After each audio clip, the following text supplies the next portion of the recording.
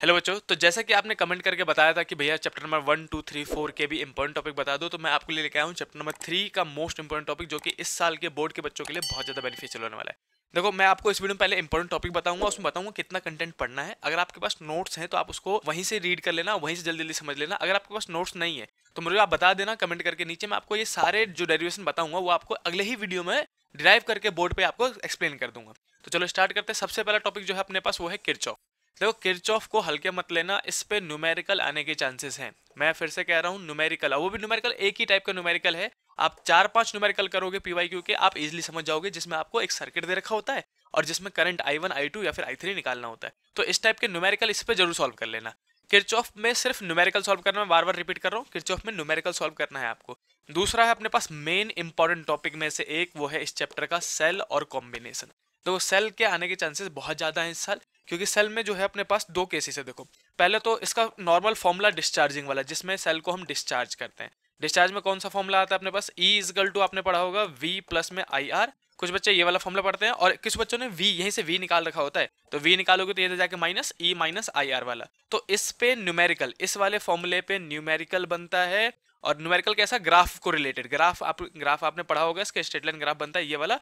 E versus I का graph बनता है। तो इस वाले ग्राफ पे न्यूमेरिकल आता है डिस्चार्जिंग का। एक तो ये केस है जो कि सिर्फ़ सेल सेल में काउंट होता है। लेकिन दूसरा कॉम्बिनेशन और कॉम्बिनेशन में सबको बचपन से पता भाई साहब। सीरीज़ कॉम्बिनेशन होता है और पैरेलल कॉम्बिनेशन होता है। सीरीज़ कॉम्बिनेशन आप एक बार देखोगे, एक चुटकी में रिवाइज हो जाएगा, लेकिन पैरेलल कॉम्बिनेशन बच्चों डेरिवेशन है। और इस बार डेरिवेशन आने के चांसेस हैं, इसलिए मैं सबसे कह रहा हूँ, इसका डेरिवेशन करके जाना। तो जो टॉपिक आसानी से मुझे पता है कि मेरे को करके जाना चाहिए सिक्योरिटी के लिए, वो कर लेना। जिसमें आप क्या करते हो नॉर्मल मैं आपको बता भी देता हूँ कौन सा फॉर्मूला कौन सा डायग्राम बनता है इसमें। देखो ऐसे करके आप दो सेल लेते हो, कहीं पे भी आप अपनी कॉपी में नोट्स में देखना, अगर ना मिले तो मुझे बता देना।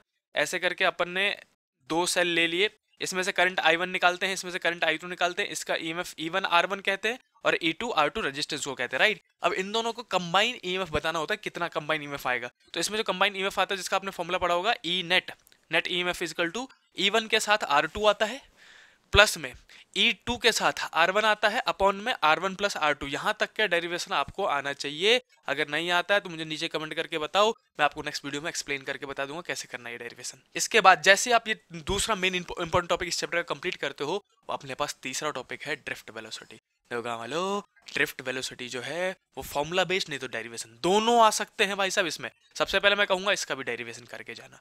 डेरिवेशन छोड़ने की ज़रूरत ना है. आसान सा डेरिवेशन है, बच्चों वाला डेरिवेशन आधे पेज का डेरिवेशन है इसका. और इजिली समझ में आता है. और दूसरा जो फॉर्मूला निकलता है अपने पास, वो निकलता है वी डी इजकल टू में ई ई टाउ अपॉन पे एम एम ये वाला जो फॉर्मूला निकलता है, इस वाले फॉर्मूले पे न्यूमेरिकल भी देख के जाना. दो चार न्यूमेरिकल प्रैक्टिस करोगे, आपको समझ में आ जाएगा कैसे फॉर्मूला अप्लाई करना है. क्योंकि ज़्यादातर बच्चों को टाउ मतलब रिलेक्सेशन टाइम होता है, यही नहीं पता। अब क्वेश्चन पढ़ोगे रिलेक्सेशन टाइम दे रखा तो टाउ है भाई, सब सिंपल है ना?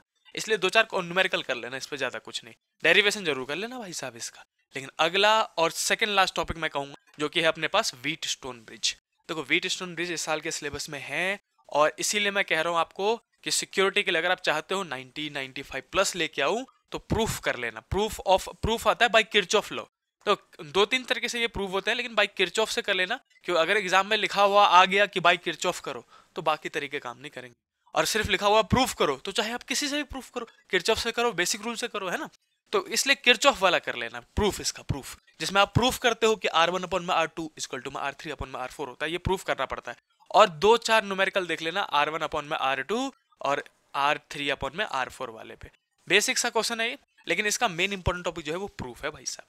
देखो, अब मैंने ये सेकंड लास्ट टॉपिक बताया मैंने आपको। क्यों? क्योंकि एक और इंपॉर्टेंट टॉपिक मैं ऐसे बता दे रहा हूँ बच्चों को। अगर ये सब कर लो आप तो सिक्योरिटी के लिए एक और कर लेना।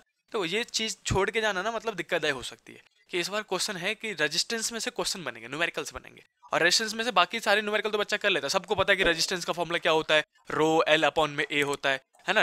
रजिस्ट रो मतलब क्या आया होता है यहाँ पे? रजिस्टिविटी रजिस्टिविटी ये सब चीज़ें बच्चों को पहले से पता होती है और ये भूलने वाली बातें नहीं होती है। अच्छा मुझे एक सवाल बताओ।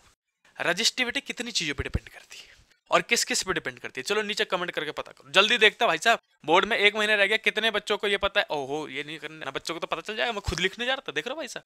नहीं, आप कमेंट करके बताओ कितनी चीज़ पे डिपेंड करता है और किस किस पे। देखते हैं रजिस्टिविटी का कितने बच्चे सही आंसर देते हैं। लेकिन मैं इंपॉर्टेंट टॉपिक क्यों बता था इसमें से एक, कि सबको बच्चे भूल के जाते हैं टेम्परेचर डिपेंडेंसी ऑफ़ रेजिस्टेंस जिसमें आर टी का फॉर्मूला आता है R T is equal to R naught one plus alpha delta T तो जो टेम्परेचर डिपेंडेंस वाला फॉर्मूला है टेम्परेचर वाला टेम्परेचर डिपेंडेंस ऑफ़ रेजिस्टेंस ऐसा करके आपने टॉपिक लिखा हुआ कुछ ना कुछ मिलता जुलता, उसी टॉपिक पे न्यूमेरिकल करना है बस।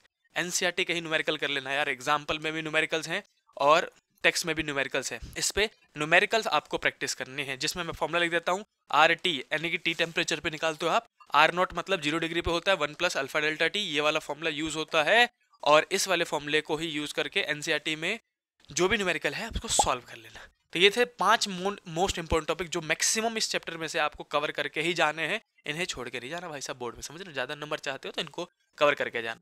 और कोई सा भी डेरिवेशन अगर आपको नहीं आता, जैसे मैंने सेल का पैरल बोला विटेशन ब्रिज का प्रूफ बोला आपको, और मैंने आपको बोला वीडी का डेरिवेशन करना है तो अगर ये सब नहीं आता, आप मुझे सीधा कमेंट करो। नेक्स्ट वीडियो में ही इन तीनों के डेरिवेशन में एक साथ करवा दूँगा, वो भी सबसे आसान भाषा में। तो चलो मैं हट जाता हूँ यहाँ से। अब आप जल्दी से इसका स्क्रीन ले लो। और इस सभी चीज़ को नोट्स में से ओपन करके पढ़ लेना। टेलीग्राम जो लिंक पे ज्वाइन रहना हमारे साथ, ताकि हम आपकी हेल्प कर सके और कमेंट करते रहना। चलो, मिलते हैं नेक्स्ट वीडियो में, तब तक के लिए बाय बाय